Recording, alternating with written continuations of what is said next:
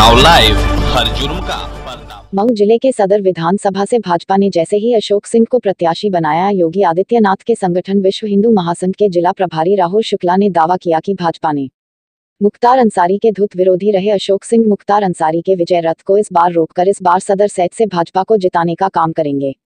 योगी आदित्यनाथ के गोरखपुर स्थित मठ के काफ़ी करीबी रहे राहुल शुक्ला ने बताया कि इस बार भाजपा ने मुख्तार के खिलाफ एक दमदार प्रत्याशी को उतारा है। जिसकी वजह से मुख्तार को इस बार हार का सामना करना पड़ेगा। मैं ये बताना चाहता हूँ कि अशोक सिंह को जो टिकट मिला है, माननीय अशोक सिंह जी हम लोग के आदर्श हैं, हम लोग के नेता हैं और मऊ सदर के अंदर भारी बहुमत से श्री अशोक सिंह जी जीतने जा रहे हैं। देखिए, जाति समीकरण पर ये चुनाव नहीं हो रहा है। मैं फिर आपको पूजन जी की वो बात याद दिलाना चाहता हूँ, ये 80 और 20 की लड़ाई है। 20 में सब है और 80 में भाजपा है।